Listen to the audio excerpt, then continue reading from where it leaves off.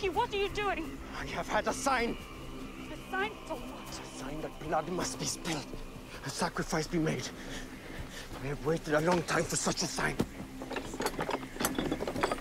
And now, my purpose is clear. What purpose? It is not for you to know. Some men lust for women, Helga. Others lust for gold. But I only lust to please the gods. You must tell me what you are going to do. I will only say that I'm going away for a while. But no one must see me leave. And you must never tell anyone of my going. Do you swear? Do you swear?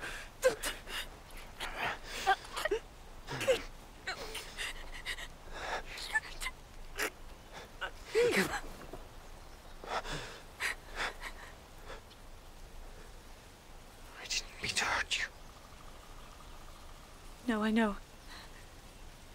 But I think you mean to hurt someone.